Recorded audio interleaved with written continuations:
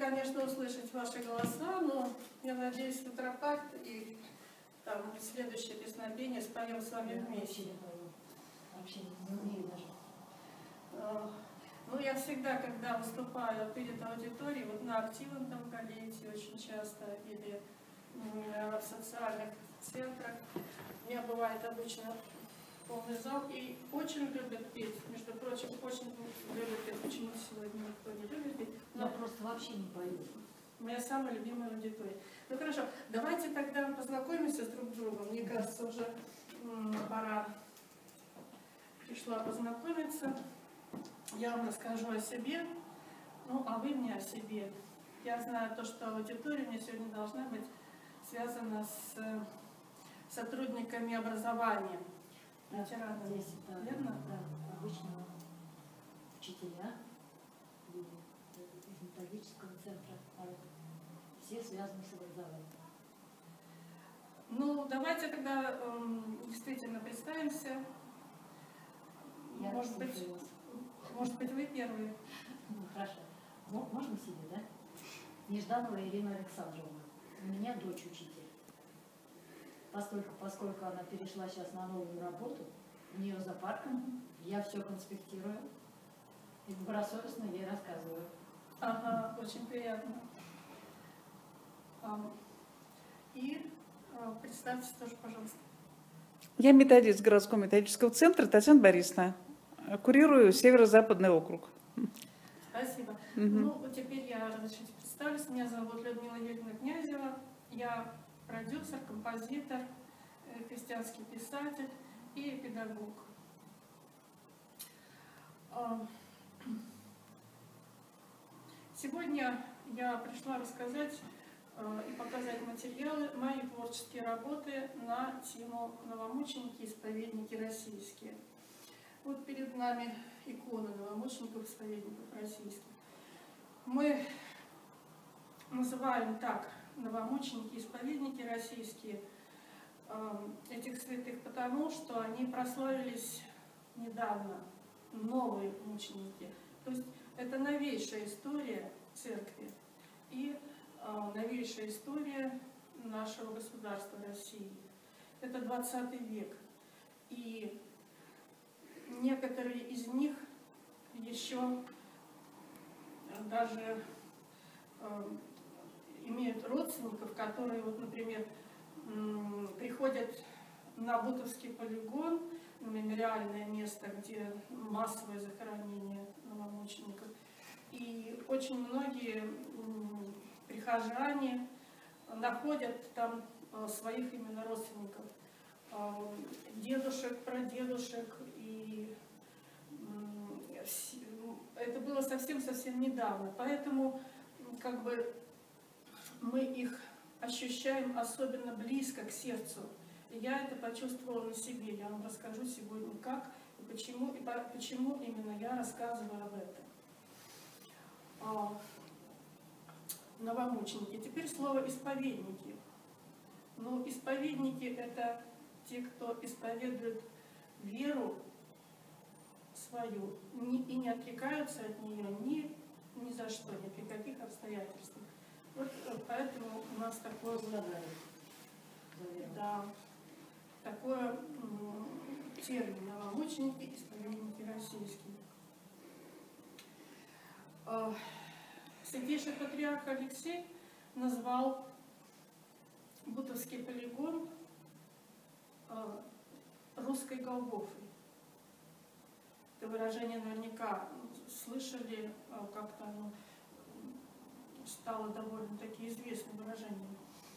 А потому что э, очень много святых именно прославилось э, в 20 веке, и очень много именно на Бутовском полигоне. Возглавляет как бы сон новомучеников Бутовских эм, митрополит Серафим Чичагов, который там же страдал и там захоронен. Э, И как раз есть выражение у митрополита Серафима Чичагова, то, что нам досталось время испытаний. Но это наша вера, как бы закаляется в горниле, как сталь закаляется. Поэтому 20 век принесет нам огромное количество новых имен, новых имен святых, которые прославят церковь, прославят Россию, прославят Господа.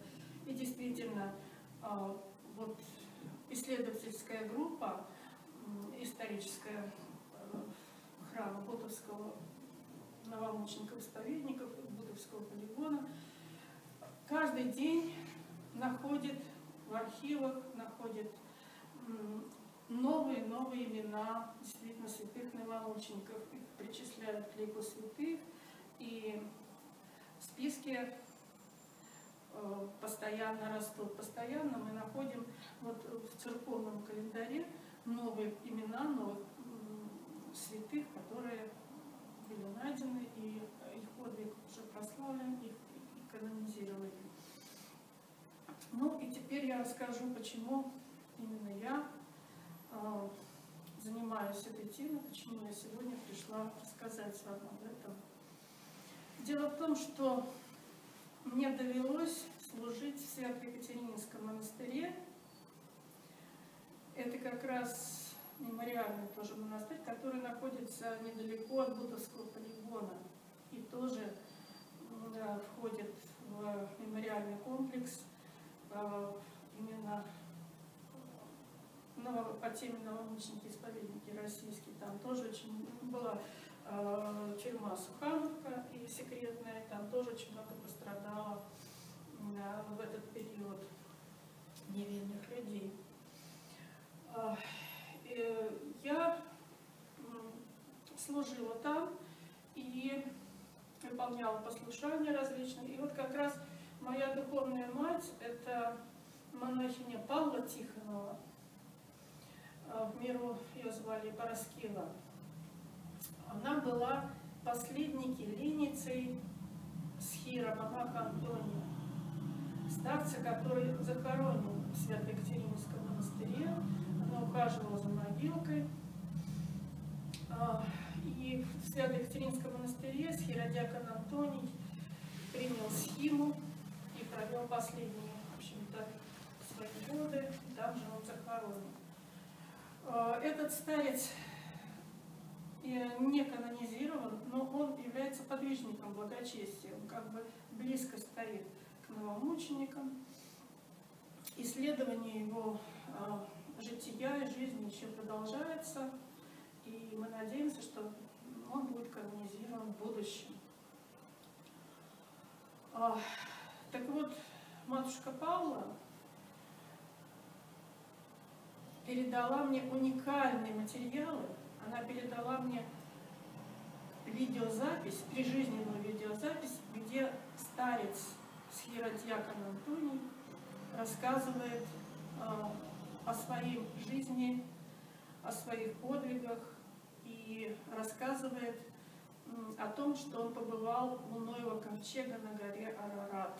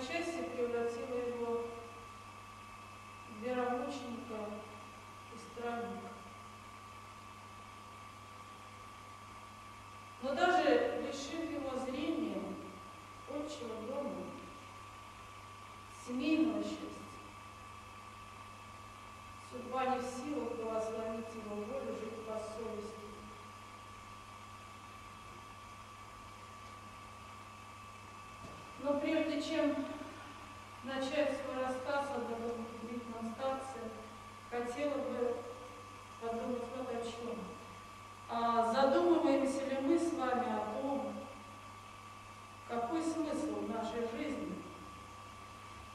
Зачем Господь послал нас в этот мир?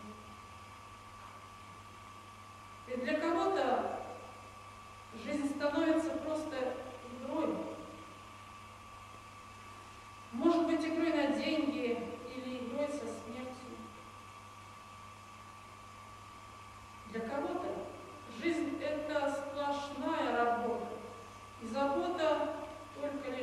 о том, чем накормить себя своих.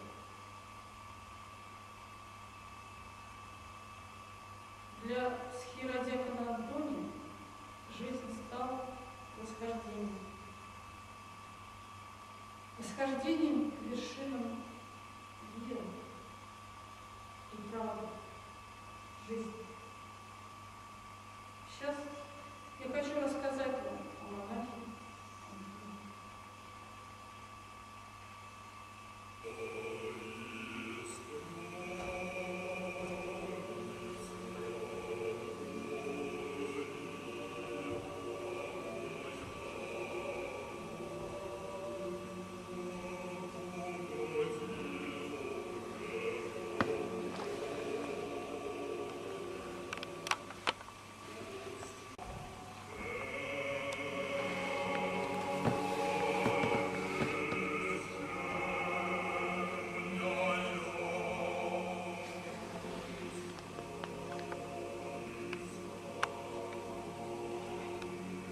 Схиродекон Антоний миру Александр Дмитриевич Семен родился 13 а по новому стилю 19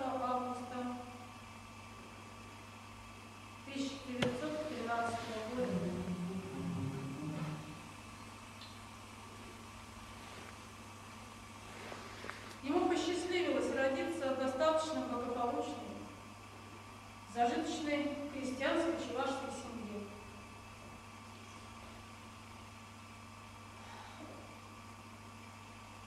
Его отец Дмитрий Федорович Семенов имел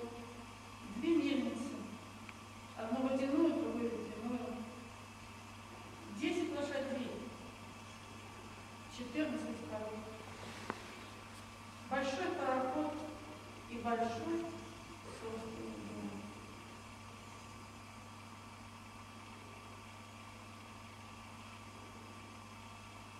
Няня маленького Саши Агафья, родом из была женщиной набожной и благочестивой. Она учила ребенка грамоте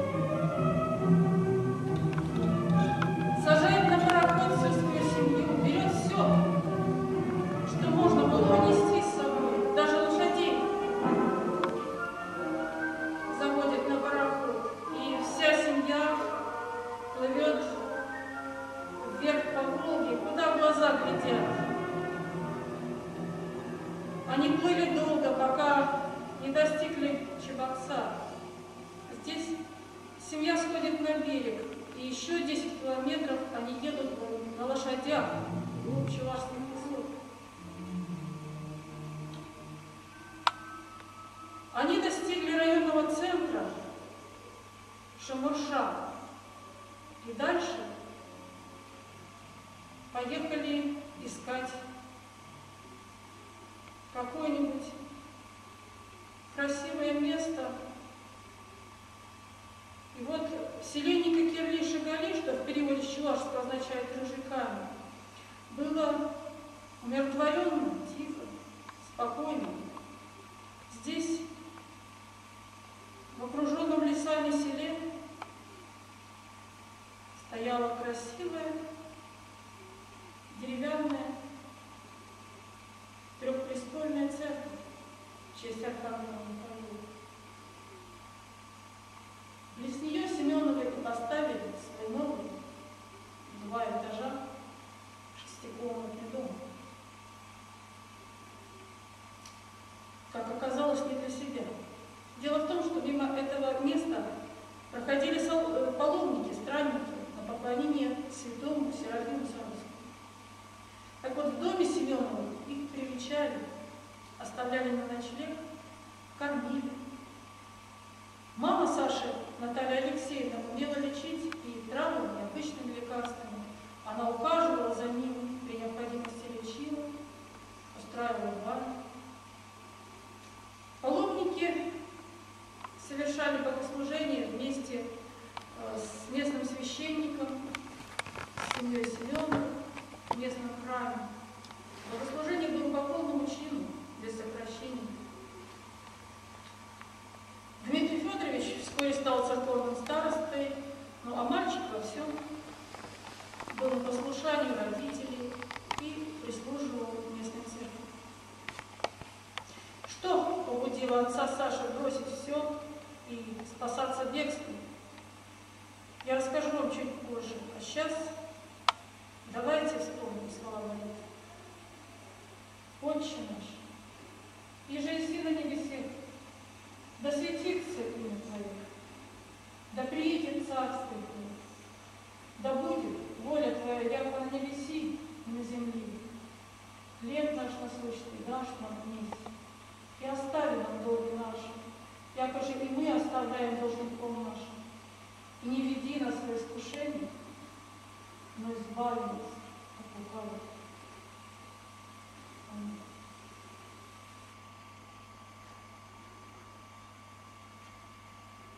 Дело в том, что еще задолго до рождения Саши, а был 1901 или 1902 год, его отец Дмитрий Федорович и дедушка по материнской линии плавали в Саратов на пароходе и встретили там святого праведного Иоанна Кронштадтского. Святой Иоанн Кронштадтский благословил спасаться бегством от грядущих революционных перемен. Вспоминая слова старца, Дмитрий Федорович говорил так. Он сказал мне, бросай все, беги,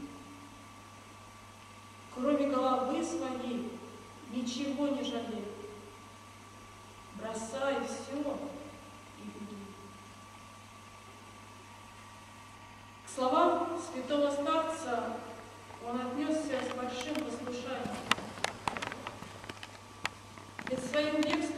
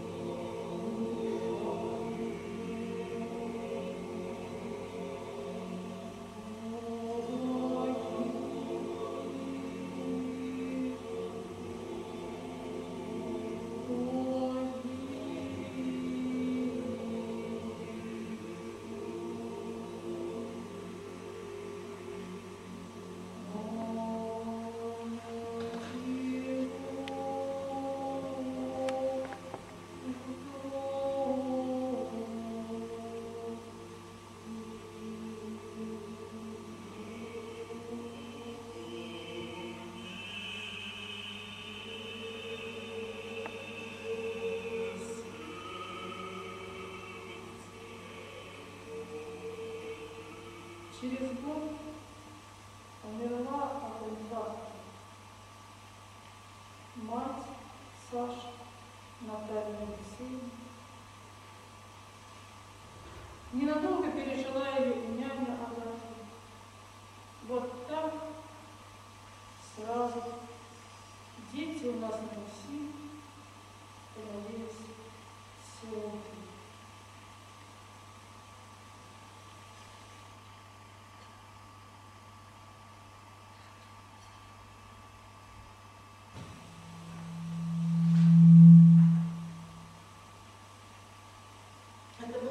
Это был первый про- проект